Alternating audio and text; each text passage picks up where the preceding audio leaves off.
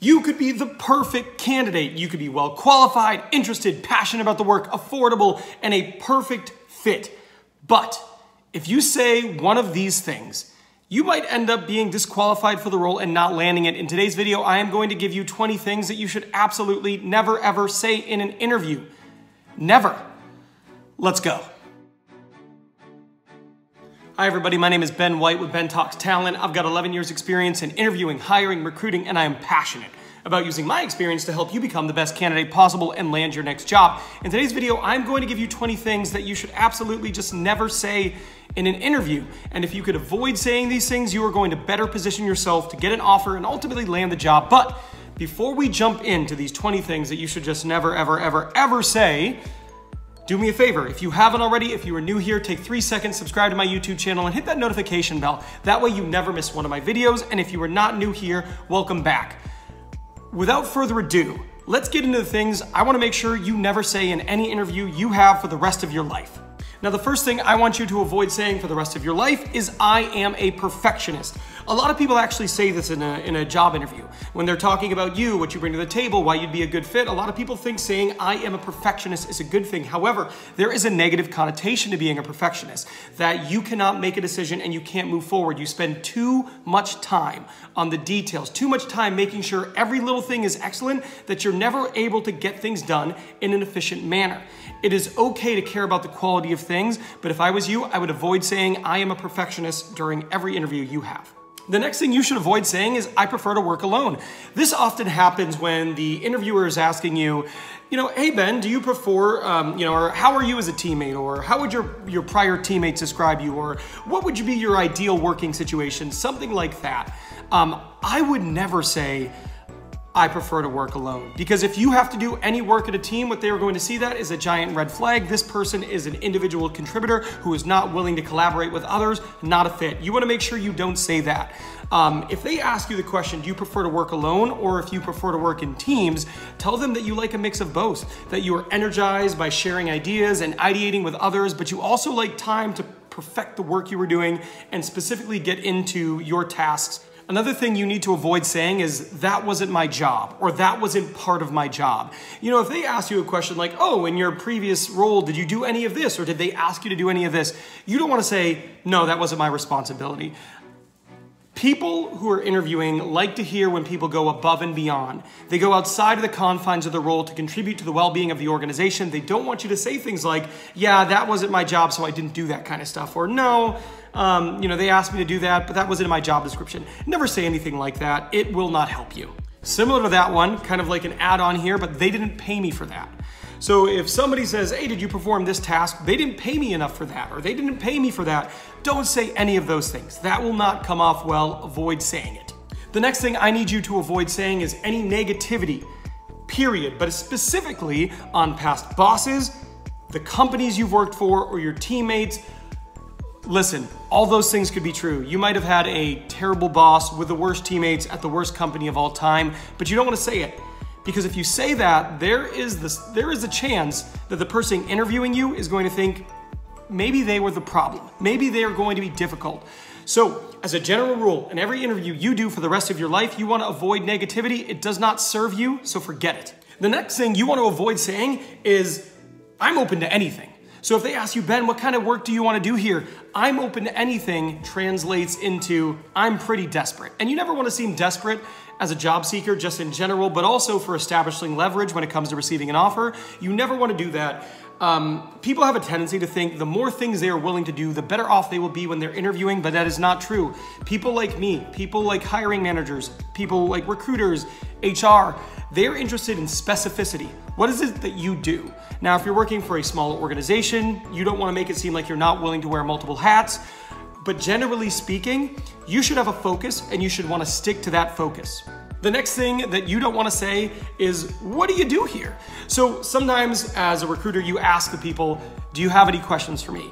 And one of the worst questions you can ever ask when you're prompted is, What do you do here? Or what is it that you do here?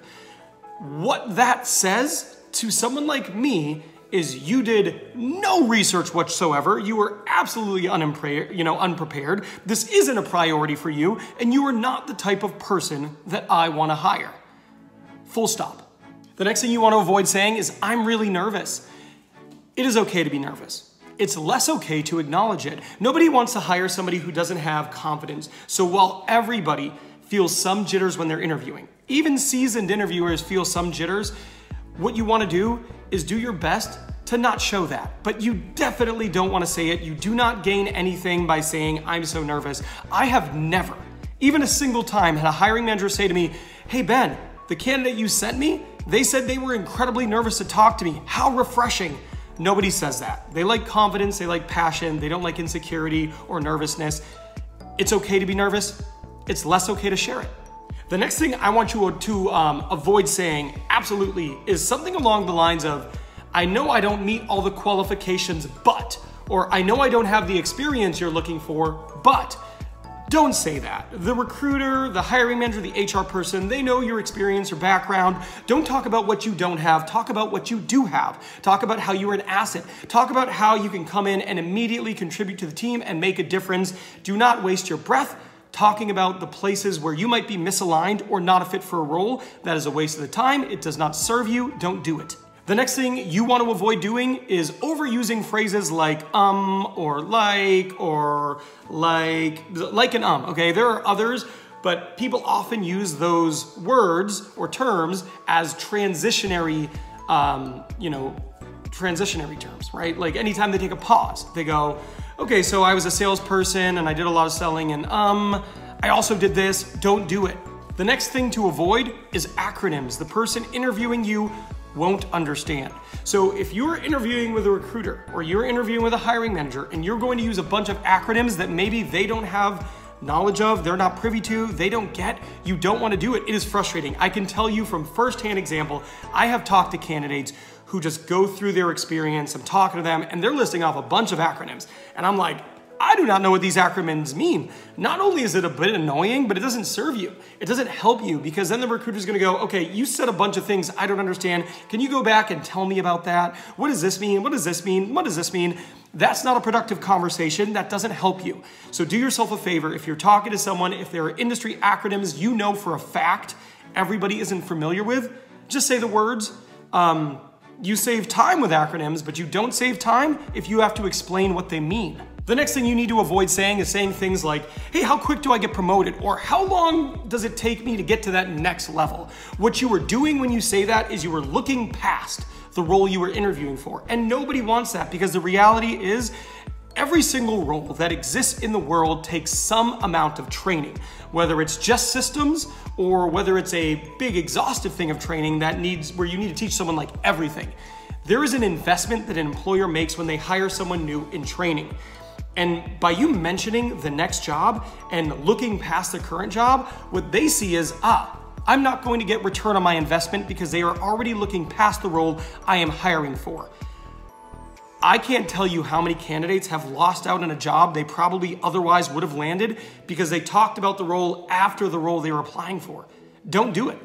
This one's kind of similar to the last one, but it's different enough that I want to mention it. Sometimes they'll ask you about your hobbies or your interests or what are you passionate about, and that leads people to talking about starting their own business. While I admire your interest in starting your own business and think it could certainly be rewarding, you don't want to talk about it in an interview. Best case scenario, um, you know, maybe it's something that takes your focus away from work a little bit. Worst case scenario, it's a conflict of interest. Both of those scenarios and anywhere in between do not benefit you for the hiring manager or HR person or recruiter to be thinking that. Do yourself a favor. You can start a business. You can want to start a business. You can think about starting a business. But if you're interviewing for a role, do not tell them you are thinking about starting a business. Trust me when I say it will not serve you. The next thing you want to avoid when you're interviewing is swears. I don't care if they are swearing, you don't swear. Um, they might seem fully comfortable with it, but if I was you, I would absolutely avoid doing it. You are there to make a best impression. You are there to be professional. And with very, very, very, very few exceptions, I think you are better off not swearing than swearing.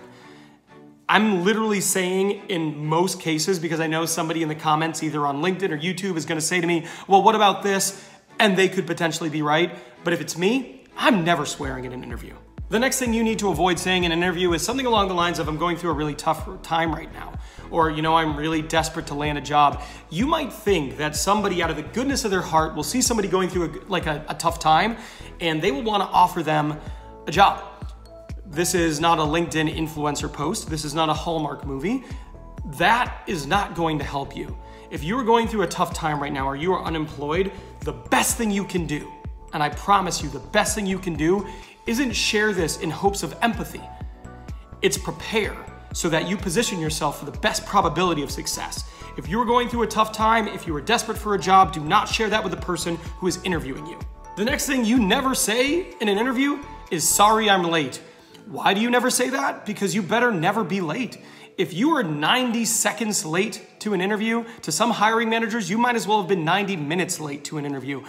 I tell people um, it is just one of the simplest and easiest things to get right, but it's one of the worst things you can get wrong. Because if you show up late to an interview, what is a hiring manager to assume about your ability to adhere to compliance or timeliness? It says that even in the most important situations, there's a good chance this person's gonna be showing up late or not coming, uh, coming up big when I need them to deliver. Don't show up late. The next thing, let's go to the flip side of this. Sorry, I'm so early. Here's the thing about hiring managers they are busy. They are very busy. And if you think, I'm gonna show up 30 minutes late, it's gonna show them, hey, on time is early, you're actually probably wrong. Um, here's my rule show up 10 minutes early. That's a good amount of time to be there, be early, get yourself settled, demonstrate to them that you're the type of person who is dependable. Anything more than 10 minutes to someone who is incredibly busy and has a packed schedule, that just means you either need to wait or they need to entertain you early. You are literally throwing off their schedule at that point. 10 minutes is the perfect amount of time to arrive early for an interview. The next thing to avoid saying in an interview is, I don't know. There are situations where maybe saying I don't know is acceptable. I can't think of any right now. But if they're asking you a question about your skills, your ability, background, qualifications, fit for the job, don't say I don't know. If you need to buy time because you don't have an answer off the top of your head, ask them for clarification. Ask them, okay, when you say this specifically, what are you referring to? Or something along those lines. It's not great. They won't be like, oh, I'm so glad Ben asked me for clarification but it is a lot better than, I don't know. Now, the last thing I want you to avoid saying in an interview is anything along the lines of, this role is a great stepping stone to where I want to go in my career. That might sound good to you. But again, this is very similar to one of the things we talked about earlier. What you're doing is you're acknowledging your interest in moving beyond the role before you even get it. That is a terrible look. So do yourself a favor, don't say anything along those lines. There you have it. That was 20 things. Avoid saying these 20 things in an interview and you will avoid stepping on an interview landmine because that's essentially what these things are. None of these things will benefit you. They will all harm your chances of landing a job. So do yourself a favor and don't say them. Good luck in your next interview. You've got this.